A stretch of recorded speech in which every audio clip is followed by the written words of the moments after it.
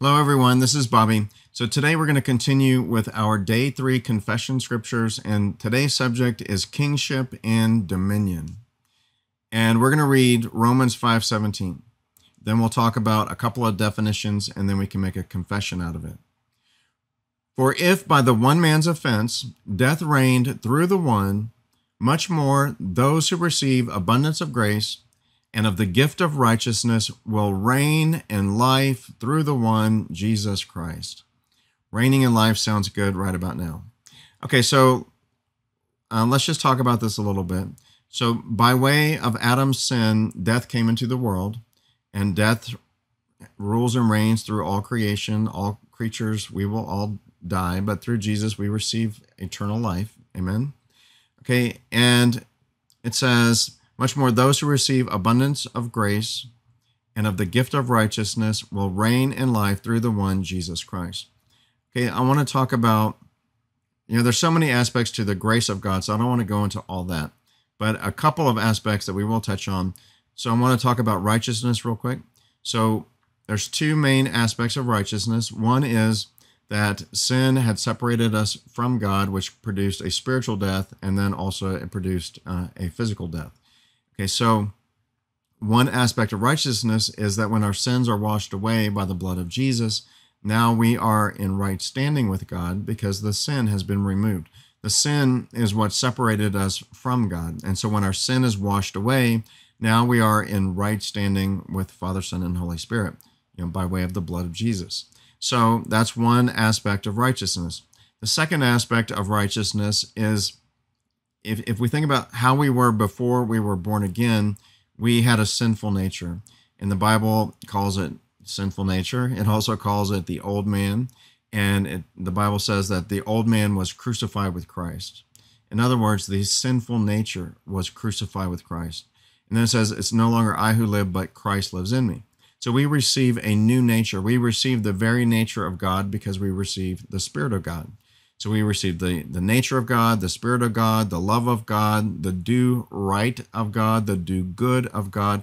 So all that do sin nature is replaced with do good and do right nature. Amen. So that is the second aspect of righteousness is that we become do righters instead of do sinners. You know. So anyway, um, so we receive a godly nature, a righteous nature. Okay. Well, then he goes on to say that we will reign in life through Jesus Christ. And I want to look at this word reign. And we'll look at it, the Greek word, and then we'll look at the definition in English. So the word reign in Hebrew, Hebrew in Greek is basileuo. And basileuo means to be king, to exercise kingly power, to reign, metaphorically, to exercise the highest influence to control. Okay, so this is a really strong definition. So if you are reigning in life, that means that you are being a king. And remember that Jesus Jesus died and made us kings. Jesus died and made us priests. Jesus um, died and made us sons of God. So we are sons of God. We are kings. We are priests. We are lords. We are rulers. We are reigners. We are more than conquerors. We're overcomers. We're triumphant ones. And the list goes on and on and on. And all those things are enabled by what Jesus has done to give us authority. Now we have to arise and operate in authority. We have to arise in faith. We have to know what belongs to us. We have to know that reigning in life rather than defeat in life belongs to us. We have to renew our mind to have a victory mindset, a an authoritative mindset. We need to renew our mind to think that we're not at the whim of whatever's going on in the world or whatever the devil wants to do with us. Instead, we are in charge. We are kings. We are priests. We are lords. We are sons of God. We are seated in heavenly places far above all principalities, powers, mights, dominions, and every name that is named. Okay, so I could go on and on. Um, looking at all these different aspects of authority. But if we want to reign in life, we need to realize who we are as sons of God, kings and priests. Amen. Always remember, Jesus is the King of kings and the Lord of lords. Okay, we are the lords whom Jesus is Lord over. We are the kings whom Jesus is king over. Okay, so we as a king or as a lord, that means we have a domain. Our domain is earth. We have a domain and we rule and we reign. And so if you're ruling and reigning if you're a king, then you're going to be exercising kingly power. And just think about it in earthly terms, and then we'll translate that into spiritual terms. In earthly terms, back in the back in the old days, right? Whenever there were all these kings and kingdoms and things, um, whatever the king commanded, boom, it would be done. You know, if a king commanded something and it wasn't done, whoosh, you know, off with the head. You know, heads would roll, literally. They would behead people. They would put people to death for not obeying the order of a king. And so I imagine that wasn't, you know, too common. I imagine that most people aligned with whatever the king commanded. Okay, well, we're not violent, obviously. We're, we're sons of God, so we do not fight. But um, we have that same powerful authority. Whatever we command, it shall be done. Whatever we command, it shall be done, assuming that we are commanding the will of God to be done. Okay? So we are to command um, the destruction of the works of the devil, like sickness is a work of the devil, um, COVID tyranny is a work of the devil, communism is a work of the devil, dictatorship is a work of the devil. You know, those are things that are on my mind right now because those are some of the world challenges we're dealing with at the moment. Lying spirits are of the devil.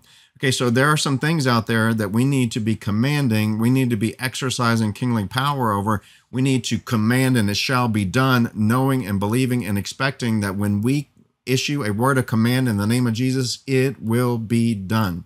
Amen. So that's who we are. I mean, that's the kind of power and authority that God has given to us. Jesus is King of kings. We are kings. Whatever a king commands, it shall be done. Period. That is the mindset we want to have. Okay? This word also means to reign, um, metaphorically, to exercise the highest influence, to control. And again, I know I'm, I'm relating a lot of this teachings lately to current events just because there's certain things going on in this world right now that we need to conquer. Amen. We must conquer all this dictatorship and tyranny that's trying to overtake the earth. We must come over that. Okay. We also need to arise in in positions in this world. We need to arise as sons of God, kings and priests. We need to arise into positions of influence in this world. It's already been spoken over us. Okay, so right now we find that there are a lot of evil people in governmental positions. There are a lot of evil people in judicial positions. There are a lot of evil people in education positions. And so if you look at all the woes that our country is experiencing right now, it all goes back to there are ungodly people in positions of influence and control. We need to kick them out. We need to exercise our authority over over the devil and the spirits energizing those people. And we need to arise um, not only in exercising spiritual authority, but we need to arise in these positions these physical positions of influence in our governments, in our countries, in our communities, cities, states, at, at any level. You know, we need to, sons of God, we need to take take control of our countries, take control of our governments, take control of education, take control of judicial. We need sons of God, kings and priests, to be in all these positions of control and influence and leadership in our countries and just turn this world around. Amen. So we exercise our spiritual authority as one aspect of accomplishing that. But then we also need to fill these positions, you know, oust the ungodly people and fill the positions of influence and control with sons of God. Then we're going to be in really good shape. Amen. And and it's always important to remember that the will of God is king and priest, a, a combined role because it, you know there's plenty of people who act like kings today and they're just exercising authority for their own pleasure for their own satisfaction for their own riches for the feeling of power. And that's that is a worldly evil satanic way of ruling and reigning. But we need to be a king and a priest like a merged role like combined together um, in, into one. And that way you have somebody who's connected to god ruling and reigning as a king but as a son of God, as a king and a priest, that means the priest part is you are connected to God. You're connected to God. You know the will of God. You know the will of the devil. And so all the ruling and reigning that you'll do as a king and priest will be godly. Amen. And that's exactly what this world needs. We need to arise into these positions as kings and priests and doing all of our ruling and reigning according to the will of God, and then things will be excellent. Amen. All right. So let's go on and let's just look at the word reign in Webster's. Okay, and in English, it means to possess or exercise sovereign power or authority, to rule, not to be dominated, but to rule, to exercise government as a king or emperor, to hold the supreme power, to be predominant, to prevail, to rule, to have superior or uncontrolled dominion. Okay, so these are powerful words. Jesus has made us powerful people. You know, we're, we're not just a mere human, but we're a son of God, filled with the Spirit of God, anointed with the Spirit of God, and we have been given the authority of Jesus Christ. All authority in heaven and on earth has been shared with us. So we are amazing creations. Amen. Thank you, Jesus. Thank you for making us amazing creations. Okay, look at this. We possess and we exercise sovereign power and authority. Amen. So we need to use that authority. We need to believe that we have that authority and we need to exercise it. And and the way authority works is by commanding. You know, command what you don't want to go, command what you do want to come. Command the devil and his works to go. Command the will of God to come. Amen. That's what we're that's what we're supposed to do. And we need to be exercising government as a king. Okay, so we can there's two things we can do here. There's a spiritual aspect and then there's a physical aspect. The spiritual aspect would be um, we don't necessarily have to be in that position of physical government, but there are people that are there right now, and we should dictate by our word of command what um, what bills we approve and what bills we reject, what cases we accept and what cases we reject. Um, so, for example, like right now, there are hearings in process in the Supreme Court of the United States concerning mandates. Okay, well, as kings and priests, as those who reign in life, we need to exercise our God given authority. We need to exercise our governmental kingly command, and we need to reject mandates in the name of Jesus. Amen. The devil cannot bring us into bondage. Um, Jesus came to set us free from captivity, set us free from oppression of the devil. We are kings, we're to rule and reign. And so we need to cast our vote, figuratively. We need to exercise our God given authority. We need to exercise our reigning as a king. And we need to reject and cancel all mandates in the name of Jesus. And that's as much detail as I can go into on YouTube without, you know, getting into censorship territory. Okay. So I have to keep it keep it safe. All right. So you know what mandates I'm talking about, right? Okay. So let's see what else. The the second aspect of to exercise government as a king would be, as I mentioned a minute ago, we need to also not every single one of us, but some of us need to arise and fill all positions of leadership, um, political positions, and city, state, federal, you know, all positions of government. We need to fill them all positions in education, we need to fill them. All positions in judicial system, we need to fill. So any kind of position of leadership, rulership, and legal and education, we need to fill those. All positions of influence, we need to fill. We need to literally, physically fill these positions and rule and reign as kings and priests, doing the will of God as standard mode of operation. Okay, that's the physical sense. And then whether we're in the physical job or not, we can exercise our authority over particular issues regardless. Amen? All right. Then also, when we're reigning in life through Jesus, we're not being defeated. We are predominant. We're dominating. Amen? We are dominating. We are dominators. We are more than conquerors. We are rulers and reigners. We are overcomers. We are always led in triumph. We are victorious sons of God. The list goes on and on and on and on. We need to change. We need to change our expectation from defeat and I'm just a little peon. That's not us. You know, we're sons of God. We're not mere humans. We are sons of God. We're, Jesus is your brother, and we're the same species as him. Same, same. Um, you know, he was human. He was born by the Spirit of God. Okay, we become born again. We become born of the Spirit of God. He was baptized with the Holy Spirit. We get baptized with the Holy Spirit. Um, and so we're the same species, the same creature, the same spirit, the same authority, all the same things. The difference is that he knew exactly who he was, and we're trying to convince ourselves who we are. We are sons of God. He knew, and he knew that he knew that he was a son of God, and he knew all the power, he knew all the authority, he knew the goodwill of God. So he had no doubts in his mind who he was. Well, he made us the same as him, but we need to arise in believing that. We need to have a victory mindset. Amen. We are the ones who dominate. We are predominant over the devil. We are predominant over the cabal. We are predominant over um, communists. We are predominant over all tyrannical rulers who try to rise up. We prevail over the devil. We prevail over ungodly man. We prevail over the cabal. We prevail over whatever work the devil's trying to start. We win. We win. We win. Okay. Get the mindset. Get a victorious mindset. We need that. That's called faith. We need to have a victory mindset. If we want the good, acceptable, and perfect will of God to come true, we have to renew our minds. We need to quit thinking failure oriented thoughts and we need to arise in victory oriented thoughts.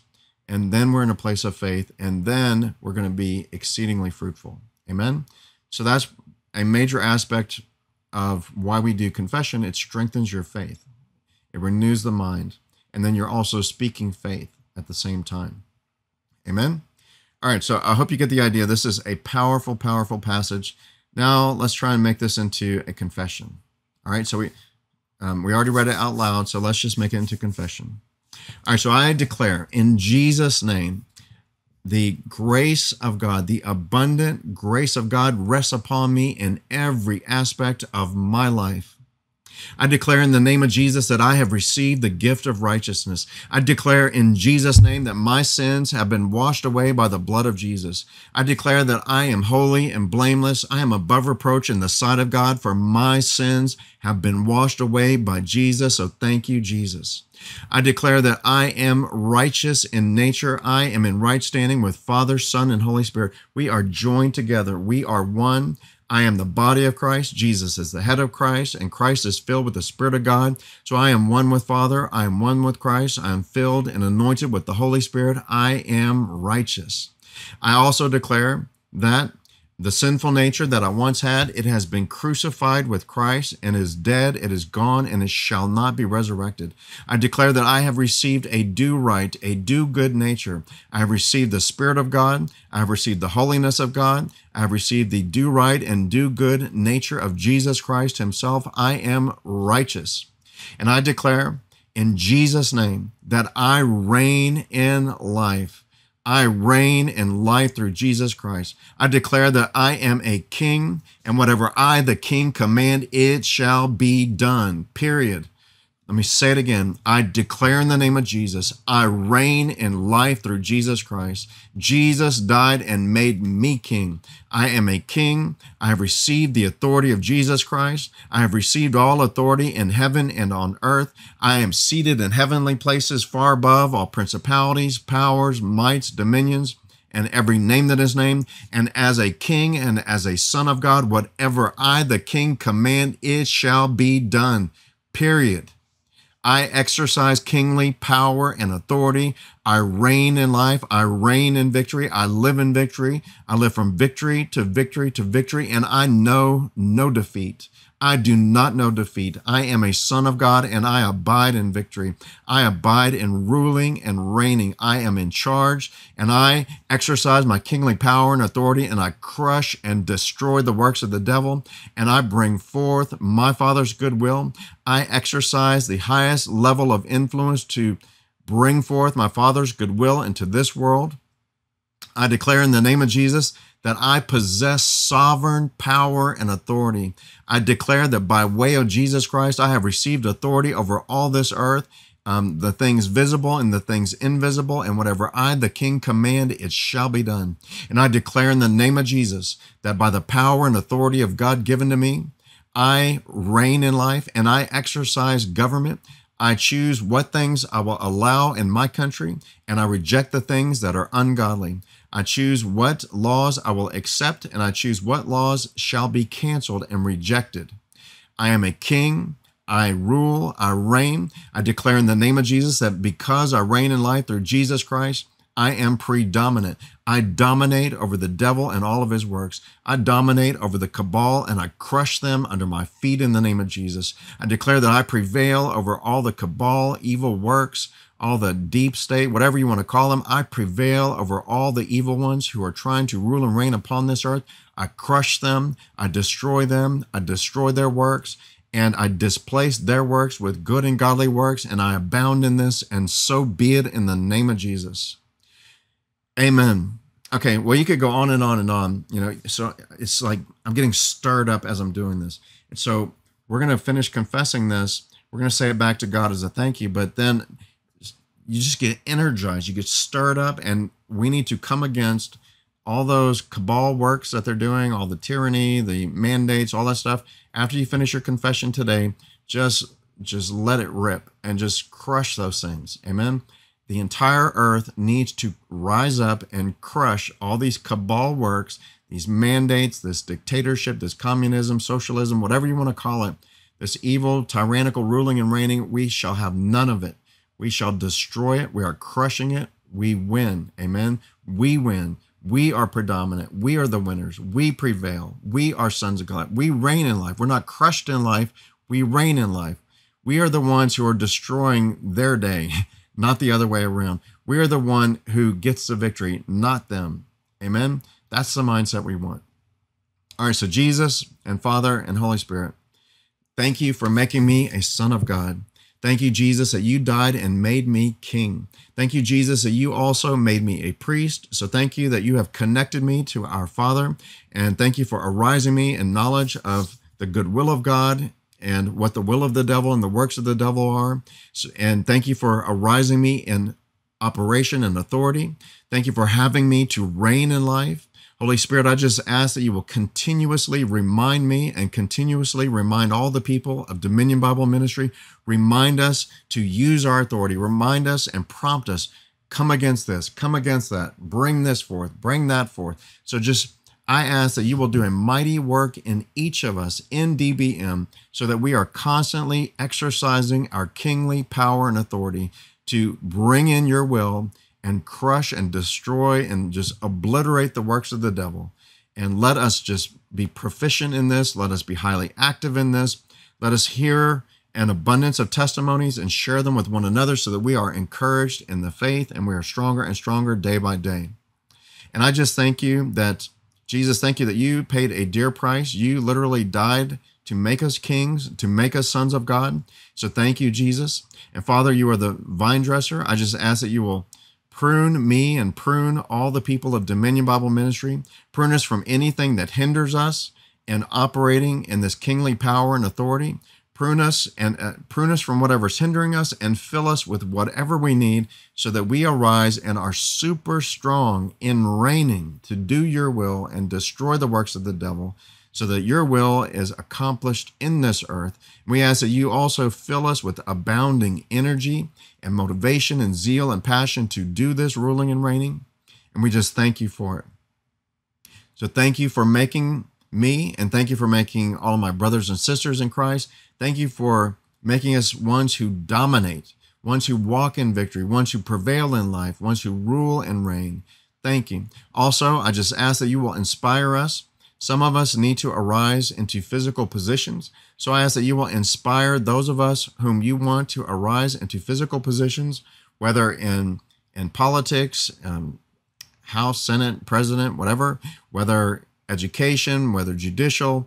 I just ask that you will put a burning desire in the hearts of many of us, the, the right number of us, to have us pursue those positions, arise into them, and let those positions be filled with sons of God who will rule and reign according to your will forevermore, generation upon generation. We say, let it be done in Jesus' name, and thank you and amen. All right, well, I'm fired up right now. I could go on for a long time. So we're going to wrap it up for here. But at this point, please do make your list, especially of some of these country level and world level things that we need to crush and destroy. Make your list of things and come against it right now. Amen. God bless you and have a great day.